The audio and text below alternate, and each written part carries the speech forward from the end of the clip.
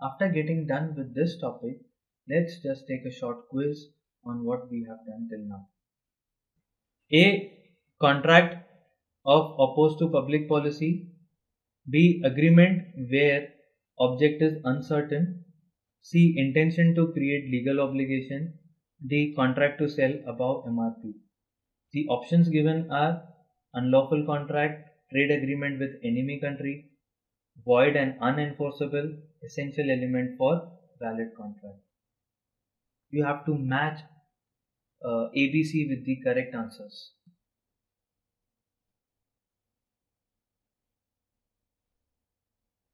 Which contracts are opposed to public policy? Contract with alien enemies, enemy countries. Trading with them is opposed to public policy. Agreement where object is uncertain. Such agreements are always void and unenforceable. Intention to create a legal obligation is an essential element of a valid contract. And finally, contract to sell above MRP will be unlawful. You cannot sell any goods above MRP. X agrees to pay Y rupees 5000 if Y delivers a judgment in his favor in a suit. Y does so but X refuses to pay any money. In this context, which one of these gives the correct legal position of the agreement? A. The agreement is void being opposed to public policy. B. The agreement is valid and enforceable. C. The agreement is voidable at the option of Y. D. The agreement is void because the object is unlawful or forbidden by law.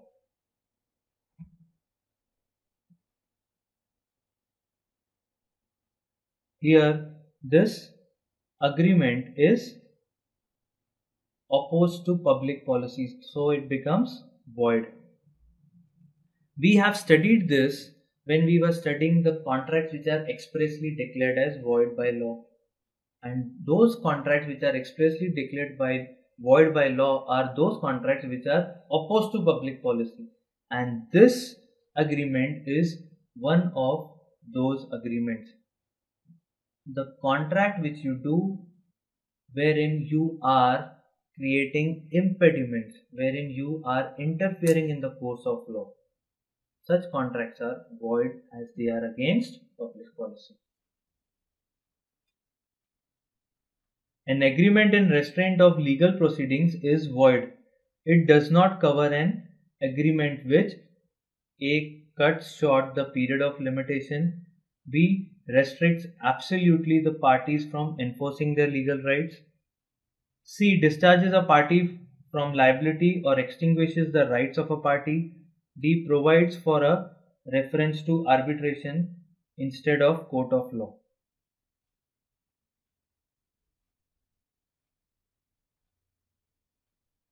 The answer is provides for a reference to the arbitration in the court of law. Normally, an agreement which is in restraint of legal proceedings is void. However, it has one exception.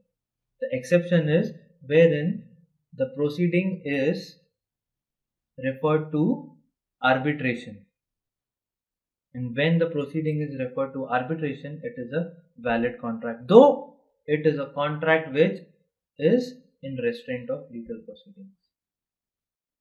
The next is a contract with resident of an enemy country is A. illegal, B. void, C. valid, D. voidable.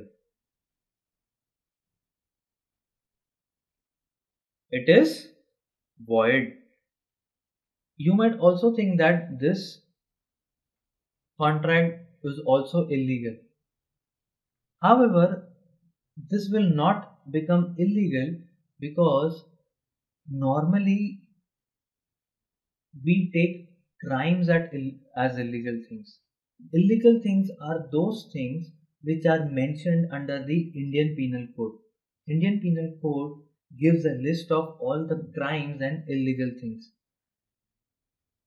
Trading with an alien enemy is not considered as a crime. However, law only states that you should not do business with an alien enemy. So this cannot be considered as illegal. Second reason is